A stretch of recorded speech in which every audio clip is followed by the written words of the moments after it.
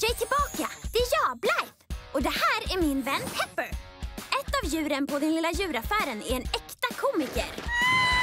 Ni ska få träffa en skojig skunk. Pepper Clark. Komedi allvarliga grejer. Hon är inte så svår att hitta. Drängskur! Det är bara att följa skratten. Titta efter en gummianka eller ett bananskal. Eller använd din näsa. Man känner om hon är på gott humör. Eller inte.